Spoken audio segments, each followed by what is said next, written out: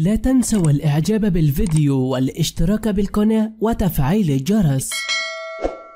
محمد السادس يتعرض لإطلاق نار من طرف شقيقته. كشف ضابط من الجيش المغربي أن ملك المغرب محمد السادس تعرض لإطلاق نار من طرف شقيقته وأصيب برصاصة. وأوضح الضابط المغربي عبد الله عيساوي في لقاء تلفزيوني أن الزوجة السابقة لملك المغرب محمد السادس الأميرة ليلى سلمى وشقيقاته تبادلن إطلاق النار على بعضهن داخل القصر مضيفا أن إحدى الرصاصات من مسدس إحدى شقيقاته لم تصب الأميرة سلمى بالإصابة الملك محمد السادس وأشار الضابط إلى أن الأميرة فاطمة الزهراء عمة محمد السادس كانت تعتبر الوسيطة بين أبرز المهربين في المغرب والقصر الملكي وبخصوص وجود مخطط لإغراق الجزائر بالمخدرات وتحويل الصحراء الغربية إلى معبر الكوكوين قال عبد الله العيساوي إلى أن تعليمات إغراق الجزائر بالمخدرات تأتي من المفتش العام للقوات المسلحة